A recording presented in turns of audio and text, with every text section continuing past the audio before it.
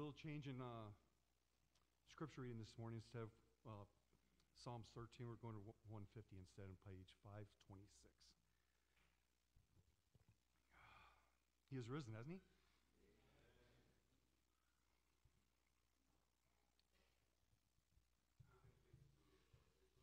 Oh, it's, it's, oh, it's lovely, isn't it? Praise the Lord.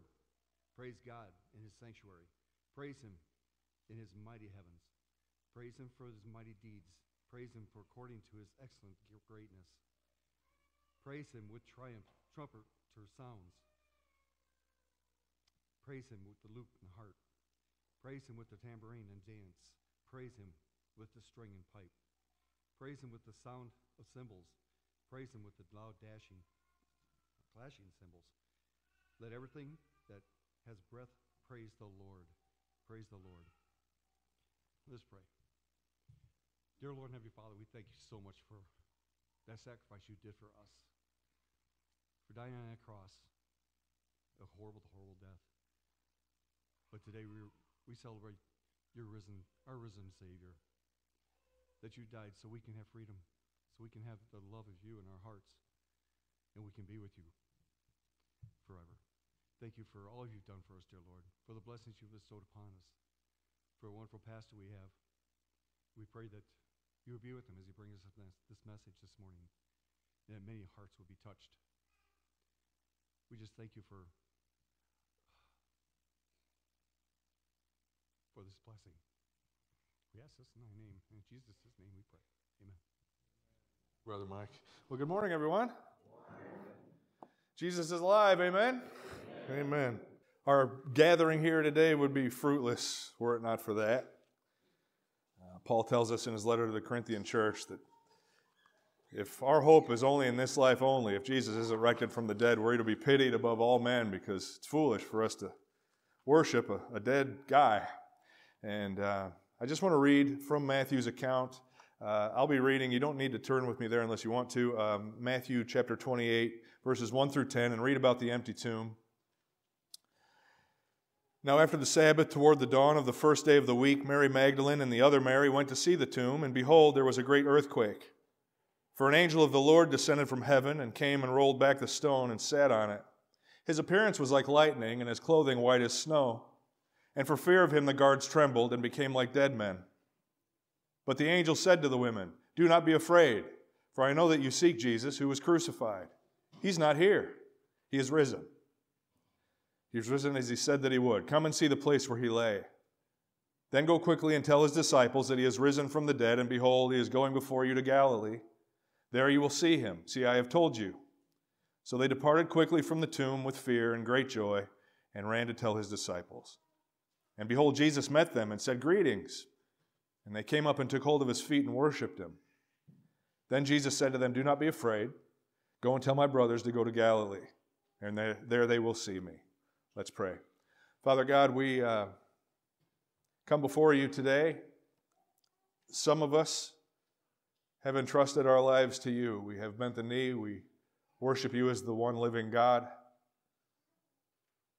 We even though we can't quite get our minds around it, submit to and place ourselves under by the will that you've given us, your blood sacrifice that cleanses us from all unrighteousness. We accept by your grace the righteousness that you earned as you walked 33 years on the planet without sin, which you impute to us. And we believe you are resurrected from the dead. We believe the tomb was empty and not by the nefarious counsels of men who hid the body or stole the body or what have you, but because you overcame death, above all for the glory of the Father, but to bless us, to bring us, we who believe in you, your inheritance with you into your kingdom, that we might, as we sang today, rule and reign with you. But you are the King. You are the Savior. You are our hope. You are our life. Apart from you, we can do nothing. And for those who don't surrender to you, those who refuse to call you God, those who refuse to bend the knee here on earth, they'll be separated from you for eternity, just like they want to be. But I pray today, Lord God, as the, as the gospel message goes out, not in this church, but in churches around the country and around the world. Around the world, your people are proclaiming the risen Savior. I pray that these words, this gospel message, will fall on ears to hear, and that the flesh of people's hearts will be fertile soil that the seed can take root in and blossom up into salvation and abundant life. I pray that today for those who don't know you, that they won't walk out of here not knowing you. And we pray all these things in Jesus' holy and precious name. Amen. If you want to turn with me, the first place that we're going to be is the Gospel of John, chapter 3, and we'll be in verses 1 through 8 in just a moment. The Gospel of John, chapter 3, verses 1 through 8. It's two for one Sunday here at First Baptist Church. if you look in your bulletin, you'll see a bunch of scriptures and a sermon outline that I'm not going to preach. Um, I put it in there, and you can ask my wife. I have been grumpy all week because the message. I get that way. When I'm like, I'm not, I'm not happy. I'm not happy with the message. And she's like, You'll do fine. I'm like, I'm not worried. I know I, God's gracious, but it's all God's word. It's good. It's, uh, it's a freebie. You take it with you, you read it, it'll lead you right to the cross. But I was just un- unsettled. uh, so you're going to hear a different message than the one that's in here. If you have questions about the message that's in your bulletin, please feel free to call and ask. I'll be happy to answer any questions that you have. It's all about the resurrection, but I don't know. I hesitate always to say God told me or God laid on my heart because I think that seems presumptuous. But I want to preach this one. So that's what's going to happen, and uh, we'll, we'll, we'll let God have it. So there's three things we're going to look at today the, the, the product of the resurrection for us, the benefit of the resurrection for us. Uh, one, uh, it's three things, and, and they'll be on the screen. You don't have to take notes this moment. The first is that we're able to be born again to a living hope. The second is that we, that's proof, his resurrection is proof that we've been purchased or bought by Christ. And third, his resurrection is the promissory note that we are blessed beyond measure. And those are the three things we're going to look at today. The unfortunate thing is that for most of America and most of the world and most people, this resurrection story is nothing but a fanciful myth made up. I don't know. I talk to a lot of preachers. None of us are getting rich, so I don't, I don't know why we would make it up. Some are getting rich, but You'll usually find the really, really rich ones, they're not always preaching the gospel. You got to watch. Sometimes they are. But we don't preach this message to get rich on earth. We certainly don't preach this message to gain favor with men. Men will hate you for this message. If you want, to, if you want men to love you, preach about them. Preach about all they can do. Preach about all God's going to give them. Preach about what God can turn them into and turn their struggles into victories and their poverty into richness and their sickness into health if they just have enough faith. Preach that and they'll love you. But to preach a Christ crucified and risen isn't going to gain for you the love of men. And by men, I mean men and women, people. But the world is terrified of death. Hebrews tells us this men who are bound and, and in slavery by fear of death. And, and you know it's true. There's a gym on every corner. Amen? We're trying to work our way out of death. We're trying to stay young as long as we possibly can. I see commercials. I'm tempted by them. Hair Club for Men, right? What if, what if I was the one guy that it wasn't obvious if he did that? What if I was the one guy? All the bald guys are laughing. Everyone else is afraid to. Think you might offend us. You won't offend us. We know we're bald. Plastic surgery is one of the biggest selling items that doctors do these days. You see actors, and I dare I use the term actress, right? From back in the 80s, the 70s, and you see them in their prime, and then they make movies today and they try and look just like they did then, but their eyes are like this, their faces are all, you know? And you're like, come on. Haven't you seen pictures of other people that had that done? I, I don't want to call any names. Some of my favorite actors have done all that massacre to their bodies. If you are on Facebook or you're on Instagram, you can see bodies crafted by surgery being flaunted for money. We work and toil at our jobs to provide for our families because we know that one day we won't be here. And we want to live well while we are here. And we know our time is short. God's written that on our hearts. We know our time is short, so we work and we struggle and we worry for our kids. I worry for my son. Am I going to be able to provide an inheritance for my children and my grandchildren, like Scripture says? We toil. We abandon God's house because there are things that we have to do on the Lord's day other than be here to make money, to enjoy ourselves, to enjoy the days that God has given us, especially when the sun starts to come out. Amen? I can worship God anywhere, we say, and we go out and proceed to not worship God anywhere. we're on the lake, we're in the woods, we're on the beach, we're in our backyard, we're working on the deck, whatever it is. Now, those things aren't sinful. But we want to make beautiful, and, and, and if I'm lying, I'm dying, like Wolfman Jack used to say. We want to make beautiful things that are temporary. This world is temporary. My family's temporary. I'm temporary. My mortgage isn't temporary. I can't figure that one out. Everything's temporary, everything's fading. Our beauty's fading, our strength is fading. If you're over 50, your ability to grasp words, isn't that fading? Your kids walk in, you're like, hey, um, uh, um, uh, you.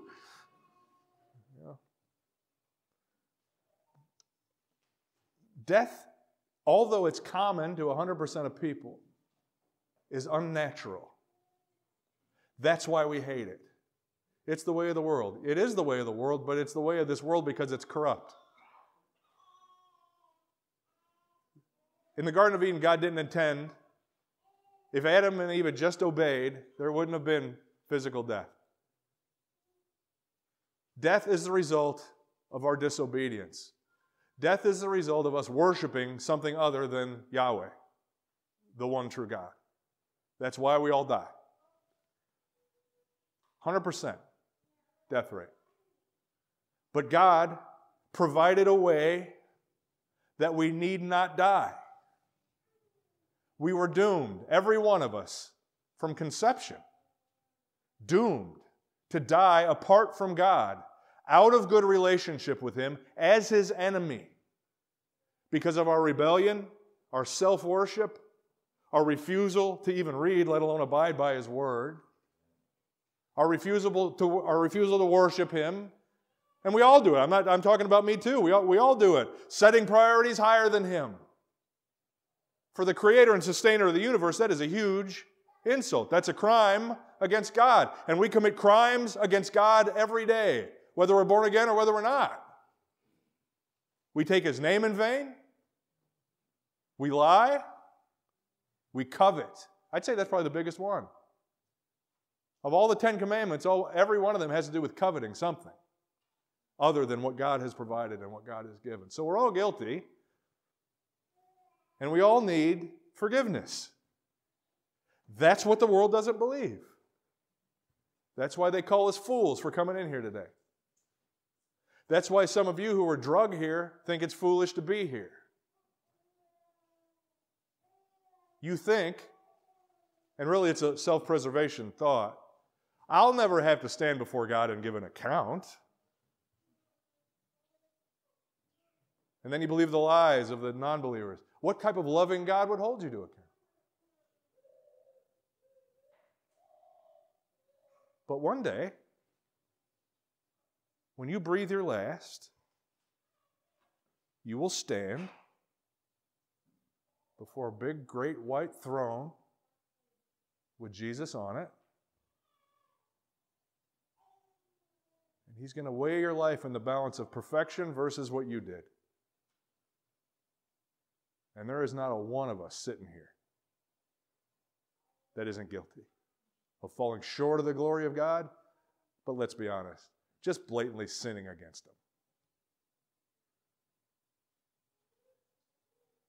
It's a, it's a game we can't win, it's a price we can't pay.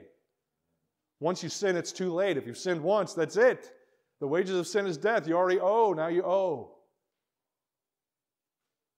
But this loving God said, I will provide a way. I will be the sacrifice that's needed for my people to be forgiven of their sins. I'll do it. They can't. They can't live a perfect life. Scripture says God knows we're but dust. We can't live a perfect life. He knows this. You know it, if you're honest. But Jesus Christ, and if you're a Christian, you must believe this. If you don't believe this, then you have no concept of who Jesus is or what he did. You must believe that Jesus, from conception until the time that we nailed him to that cross, did not sin once in thought, in word, in action, or inaction. He loved the Lord his God with all of his heart, mind, soul, and strength every moment of his existence on earth. And he still does because he's alive. Amen? He's alive. And he truly loved his neighbor as himself. What is the greatest example of Christ's love for his neighbor while he lived? It's that he spoke truth to them. He didn't worry about their feelings. He didn't worry about where they were in life. He told them the truth. Why do you think he hung out with whores and drunkards and sinners? because only the truth can set you free. And don't think he was sitting with them partying and drinking it up. I saw a meme, Jesus was a party animal. He hung out with drunks. And uh, I just wanted to rip the two hairs that I have left out of my head and gouge my eyes up for looking at it. Jesus was not a party animal. He was the unblemished sacrifice for their sins. And he went to them, and as he spoke with them, did he show them love? Yes, but he told them the truth. He didn't abide their sin, he told them the truth about it.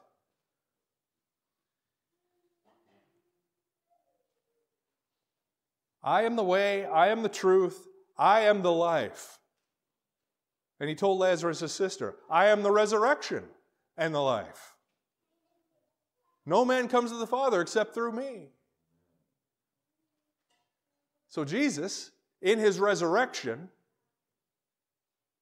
paved the way for you to be born again. And let's read uh, right here in, in John chapter 3, verses 1 through 8. Jesus is talking. He's still on earth, walking and talking. This is before the crucifixion. Now, there was a man of the Pharisees named Nicodemus, a ruler of the Jews. And the man came to Jesus by night. And he said to him, Rabbi, we know that you're a teacher from God, for no one can do these signs that you do unless God is with them. Jesus had been tearing it up, feeding, the, uh, feeding uh, just miracle after miracle. Verse 3 Jesus answered him, Truly, truly, I say to you, unless one is born again, he cannot see the kingdom of God. Now, that's on the heels of this guy telling Jesus, You must come from God. I, we see the wonders that you do. Does Jesus go, Yeah, believe the wonders. Yeah, believe the signs. He doesn't say that to him. In fact, this response is almost not related to the question, it seems. Jesus answered him, Truly, truly, I say to you, unless one is born again, he cannot see the kingdom of God. What's the kingdom of God? It's the kingdom in which God rules, it's the kingdom in which God reigns, it's the kingdom in which his people bend the knee and worship him gladly. Gladly, saints, amen? Not in fear that he's going to smite me and smoke me but because He died for me. He paid my price. He is worthy. Worthy. Amen? We worship Him because He's worthy. We don't worship Him in terror, though we worship Him in fear, which is respect. Nicodemus said to him in verse 4, How can a man be born when he is old? How can he enter a second time into his mother's womb and be born? And Jesus answered, Truly, truly, I say to you, unless one is born of water and of the Spirit, he cannot enter the kingdom of God. That which is born of the flesh is flesh, that which is born of the Spirit is spirit. Do not marvel that I say to you, you must be born again. The wind blows where it wishes, and you hear its sound, but you do not know where it comes from or where it goes. So it is with everyone who is born of the Spirit. In order to be born again, God must regenerate your spirit. God the Holy Spirit reaches in You're dead in your sins and trespasses, Scripture tells us, and He reaches in and He creates in you a new spirit, a living spirit. And Deb, it'll be up on the screen for you, and we read about this in Titus 3 5. Titus 3 4 through, 4 through 7. Five's in there. Here we go. But when the goodness and loving kindness of God our Savior appeared, He saved us. Who saved us? He saved us. Not because of works done in righteousness. Wow. what? Hey, let's read that again. He saved us. Not because of works done by us in righteousness. Oh, so you can't earn your way. Amen? You'd have to be perfect to earn it. So, not because of works done by us in righteousness, but according to what? His own mercy, He saved us. He had mercy on, we're guilty, but He had mercy on us. How? By the washing of regeneration and renewal of the Holy Spirit, whom He poured out on us richly through Jesus Christ our Savior, so that being justified by His grace, we might become heirs according to the hope of eternal life. That is what it is to be born again. You don't earn it. You don't get into heaven because you deserve it. Otherwise, it wouldn't be grace, would it? It'd be your wage. God would owe it to you. God, I've been to church. God, I came to church. I listened to that guy talk for like 40 minutes. He went on and on and on and on and on and on about the empty tomb that I don't even really believe in, but okay. Doesn't that win me a little heaven point? No. You can't win or earn glory. You can't win or earn heaven. You can't win or earn eternal life. It's a gift from God by His grace to you. And He will pour out His Spirit richly on you and change your heart of stone into a heart of flesh and give you a new spirit. 2 Corinthians 5 17 and 21 says that uh, you're a new creature. The old has passed away, the new has come. How? Verse 21 He who was without sin became sin, so that you might become the righteousness of God. Jesus paid your price on that cross. Will you accept it? Will you allow God's blood to wash over you and cleanse you? Folks, that takes worship. You can't just say, I want that and nothing else. For God's blood to cleanse you, you have to be his slave. We don't like that word, do we? I'm gladly his slave. You're a slave to something. You're a slave to yourself and sin, which is the devil, or you're a slave to Christ. Which is it going to be? If it's not Christ, you'll be separate from him forever. But what does it mean to be a slave to Christ? What else does Christ call us? His bride, his friend, his brothers and sisters. Slave to Christ doesn't mean you got a chain around your neck tied to a wall somewhere. Slave to Christ means I have come so that it's not my life that I live, but yours. I have come to lay down my life because it's worthless and to live for you. I have come to serve in your army. I've come to be in your family. Adopt me, Lord. Adopt me. Make me your own. Why? So that being justified by His grace, we might become heirs according to the hope of eternal life. Heirs of what? Heirs of the kingdom of God.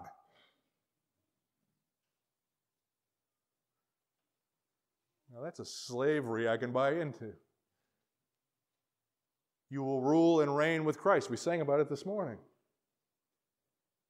You will judge angels. You will judge Satan. On that great white throne judgment, when the lost and dying world that refuses to bend the knee to Jesus Christ is standing before that great white throne, we, the, the masses of his people, the body of Christ, washed in the blood of Christ, redeemed by his blood, the vicarious righteousness of Christ emanating from us, the, the glow of the holiness of God just emanating from our bodies. If you saw your resurrected body, you would want to fall down and worship you. And we will be standing there pronouncing the judgment on those who refuse to bend the knee to Jesus Christ. Satan, the Antichrist, the false prophet, every disbeliever on the planet who refuses will be in that line being condemned. And we will stand with Christ, judging as heirs of the kingdom. But that comes at a great price, you guys. Not for you. Well, it does cost you everything. Right? It's not I who live, but Christ lives in me. That costs me everything. And Jesus said so much. Count the cost. If you thought you were going to come in here today, I was going to say, hey, just say this prayer and you're good. You can get that anywhere on YouTube. Church down the street tell you that.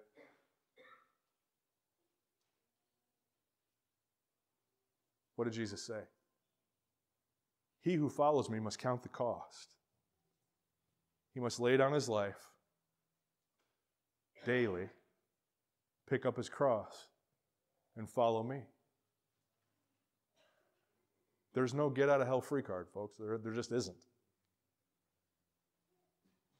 When Jesus converts your heart and gives you life, you love him, you follow him, you serve him, you deny yourself because it's just the flesh, and you embrace the things of God. And that's a lifelong process. And it's a joyful process, isn't it, saints? But it's a hard process sometimes too, isn't it? I mean, laying down your life ain't easy. Putting to death the deeds of your flesh aren't easy. It hurts a little sometimes. It hurts your ego because you can't really do it well. It hurts because you're now missing things that you once loved that were sinful. But the blessings you get, which we'll talk about on the third point. So we're bought by Christ. That's the next thing. We're born again. New mind, new spirit, new hope, new goals, new view, new world, new worldview, new, born again by the power of Christ. What we're bought by Christ. Let's look at uh, John chapter 3, verses 14 through 19.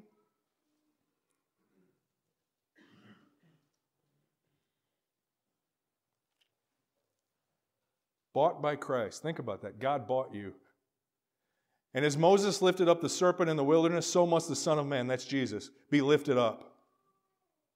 That whoever believes in him may have eternal life. What does it mean that they lifted up Christ, saints? What happened? What's that called? Crucifixion. That whoever believes in him will have eternal life.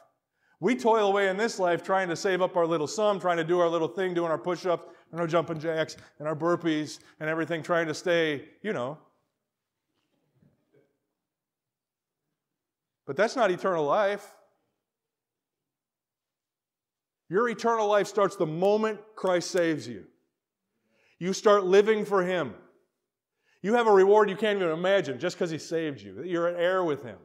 And the good works you do in His name build up more reward for you and more reward for you. So it starts now. It doesn't start when you die. But when you die, what happens, saint? You shake off this sinful body and you get a new one. Amen. Not prone to sin, no sin nature. A, bit, a body built to serve Christ for the rest of eternity. A body built for worship. A body built for service. A body built for the strength of the Holy Spirit. A body built to do what God has called you to do without reservation, without question, without falling. And for eternity, you'll be serving Him in some capacity you can't even imagine how great it is. I don't even know what it is. I'm not saying that I do. But you won't be floating around playing harps and eating grapes. That, you won't be doing that. I'd be bored in 10 minutes with that, probably. Amen? Anyone? I mean, I got to sit on a cloud. Just, yeah. But that eternal life is going on for the rest of eternity. If you're born again.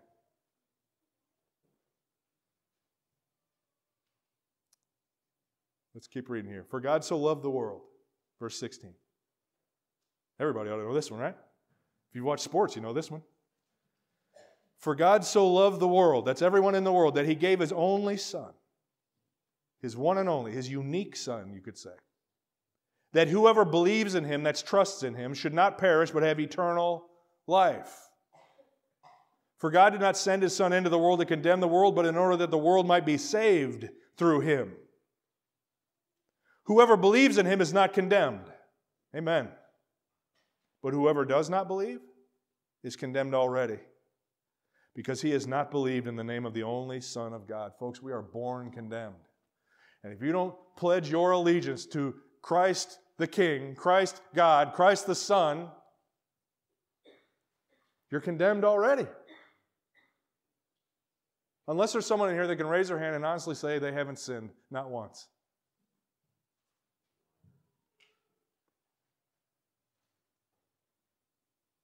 Whoever believes in him is not condemned, verse 18. Wow.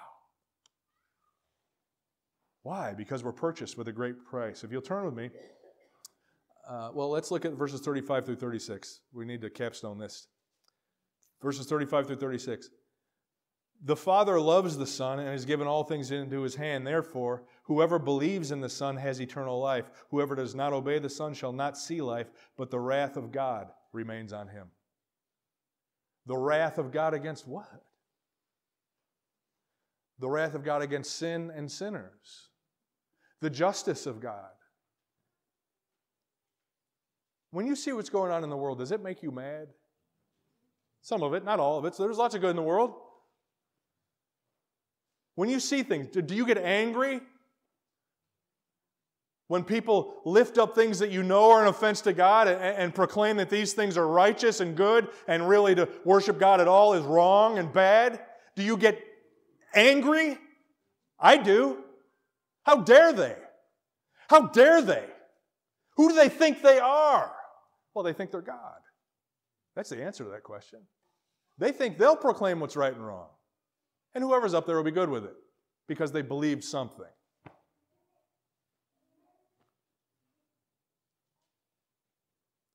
God has a wrath. If you get angry, you're a sinner.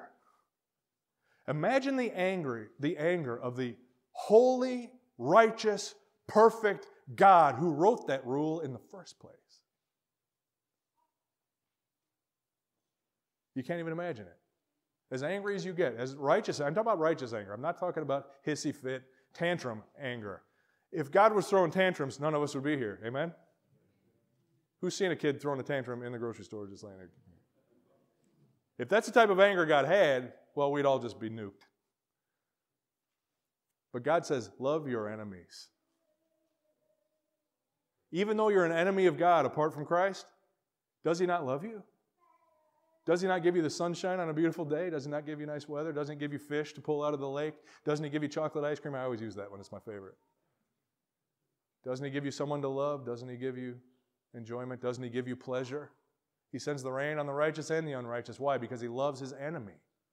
But make no mistake, you are his enemy. Unless. Unless you're purchased by Christ. Let's see what we can do about this. Let's go to Colossians 1 19, page 983 in your Pew Bible. If you're in your Pew Bible, it's page 983.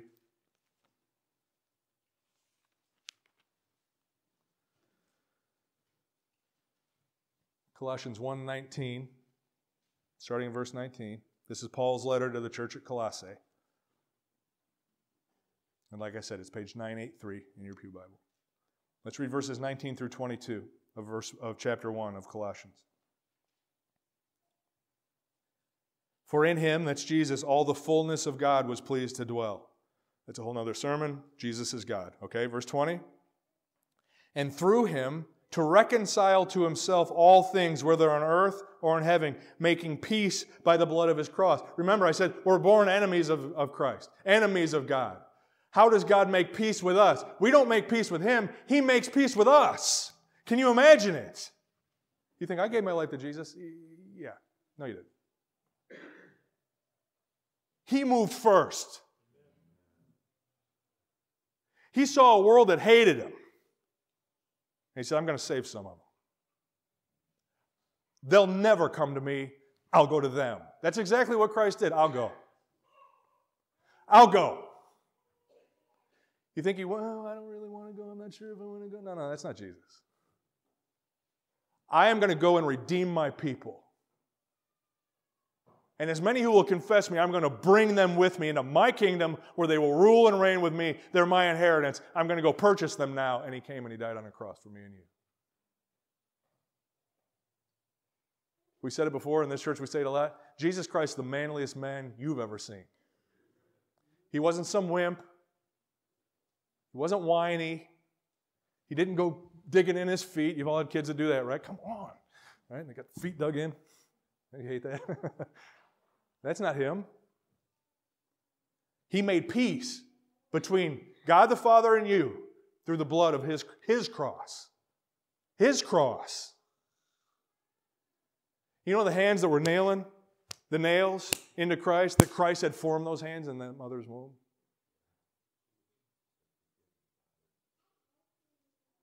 Do you know that all those soldiers that were standing, it's about 600 of them, standing around mocking him, beating him with reeds, jamming thorns down on his head, hitting him with those things that, that ripped the flesh off of his back so bad that you could see his spine and his ribs from the back where they were uh, flagellating him?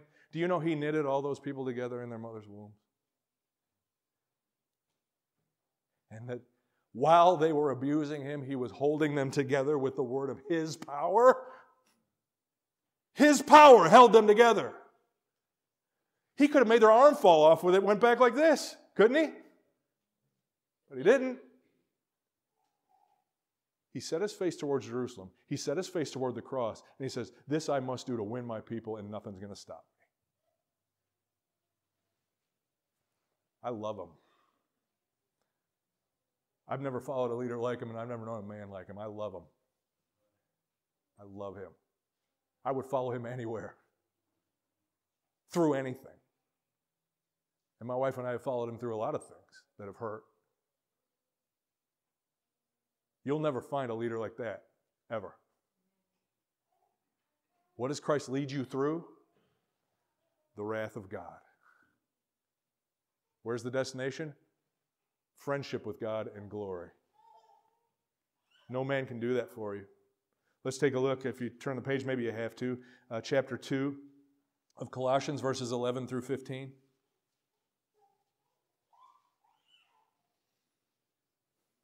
Chapter 2 of Colossians. Now we're going to see how he makes peace with his cross.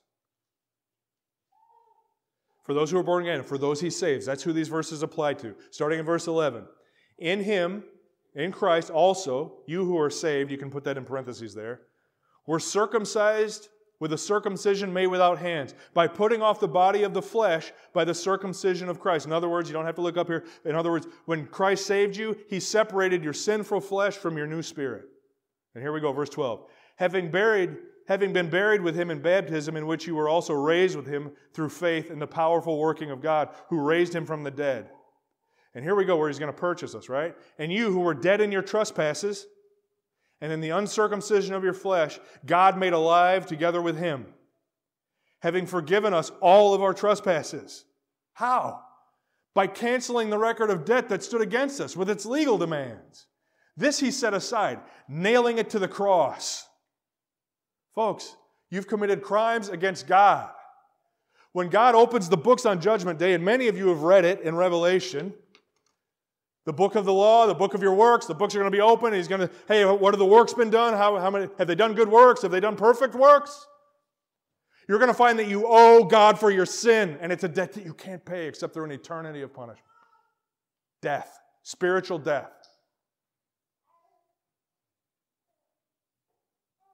God, for those he saves, took that bill of debt that you owe God, he took it out of your ledger.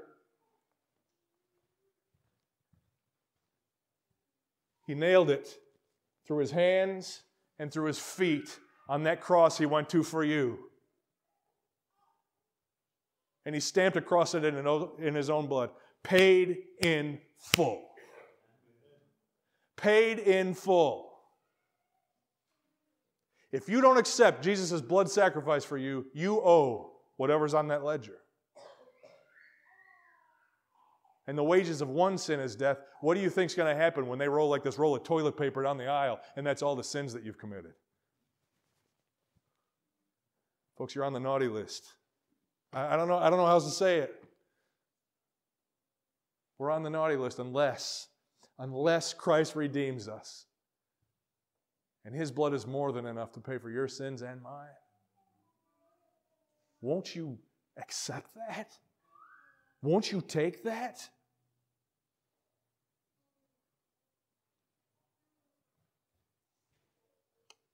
last but not least, we're born again, we're bought by Christ, but we're blessed beyond measure when He buys us. We're blessed beyond measure. 1 Peter 1, verse 3. That's page, uh, what, 1014 in your Pew Bible?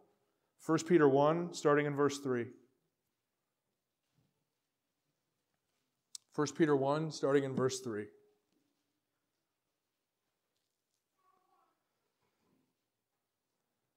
First Peter 1, starting in verse 3.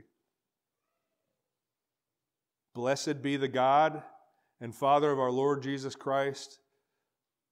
According to his great mercy, he has caused us. it's all him. According to his great mercy, he has caused us to be born again to a living hope through the resurrection of Jesus Christ from the dead. Why is it so important that Jesus is alive? Because when you're born again, you are placed in him through faith. As long as he lives, you live. Hebrews tells us we are saved by the power of his indestructible life. Hebrews 7:16. His indestructible life. When he stops being God, when he stops living, those of us who have trusted him will also stop living. Folks, that day will never come. We are saved by his life. That's why, I hate to even use the word Easter. That's why Resurrection Sunday is so important. That's why if the tomb's not empty, we're doomed. If Jesus is dead, we're doomed. If he can't stay alive, how's he going to keep us alive? Amen, right?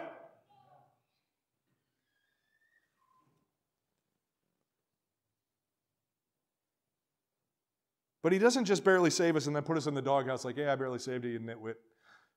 Look at this. Verse 4. What's he save us to? To an inheritance that is imperishable. What? Undefiled. It's unfading. It's kept in heaven for you. Who, who, who are you? You're the one who, by God's power, is being guarded through faith for a salvation ready to be revealed at the last time. Who's guarding your salvation? Who's guarding your inheritance? God is. Amen. Don't you want Him guarding it? Say this prayer. Not now. I'm not. I'm not saying say it out loud. I'm not. At some point, God, thank you that I'm not in charge of keeping my inheritance. But thank you, thank you, thank you that you're guarding my inheritance. Because I would be the prodigal son. Amen. I'd go out. Da, da, da, da, da. I'm going to go see what I can do with this inheritance, and then all of a sudden it'd just be a train wreck. Because I've been in a lot of train wrecks. I mean, Anyone else have been in a lot of train wrecks? And I'm the engineer. Toot, toot. You know, pulling the. Just, there we go. Verse 5 Who by God's power are being guarded through faith for salvation, ready to be revealed in the last time. You will be glorified, saint. You will get a resurrection body. Verse 6 In this you rejoice. And we should. Amen? Though now for a little while, and this is our life on earth, it's just a little while, though now for a little while, if necessary, you have been grieved by various trials. Notice that. You may have overlooked that in reading these scriptures before. Are your trials just arbitrary? Are they just to hurt you? What does Jesus say here? In this you rejoice, though now for a little while, if necessary, you have been grieved by various trials. Whatever trial you're going through, God is using that in your life for something great. All right? He's using that in your life for something. The de- oh, the devil's just been attacking me. Yeah, but not unless God lets him through. That's God's devil. He can't just come and attack you and hurt you unless God allows for him to do in your life what God's going to use. What what's the Old Testament say? What you intended for evil, God intended for good. All right? All things work together for the good of those who love God and who are called according to his purpose. Even your trials have a meaning. But if you don't know God, no, they don't. Eh, have, eh, no, no one's in charge of this.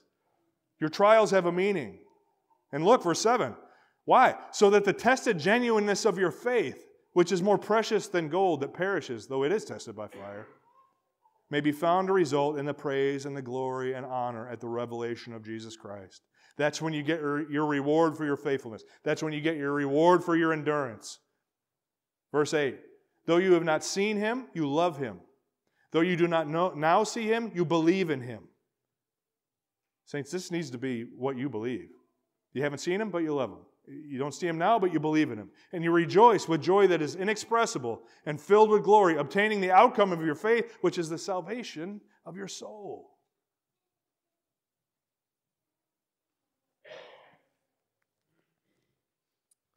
Jesus is alive. He came in flesh as a man. He didn't fake it, he came as a man and lived a perfect life because you can't, and died a sacrificial death so you don't have to.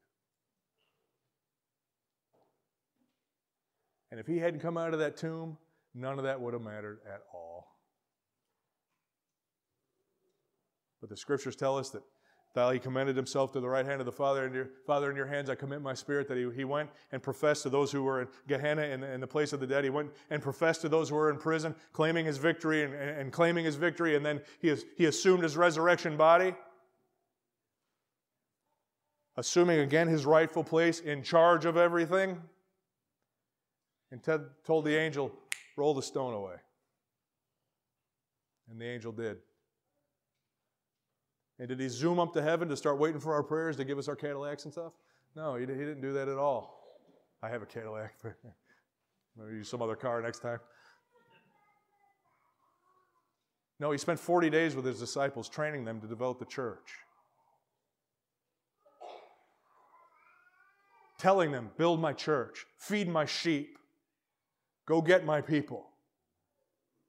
And then he ascended to the right hand of the Father. And that message of come to Christ has been the call of the true church since that day.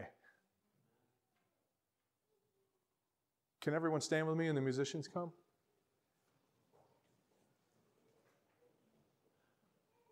The call of Christ is the same. Come to me, you who are heavy laden. My yoke is easy, my burden is light. I will pay for all your sins, and I will give you riches beyond measure. Just come to me. You may have to suffer for a little while on earth, but don't worry, that's got a purpose. It's for my glory, and isn't that really what you want? If you've never surrendered or bent the knee to Christ and you want to talk about it, I'll be up here. We'll talk. We'll talk. If God's working on your heart, come. We can, we can talk.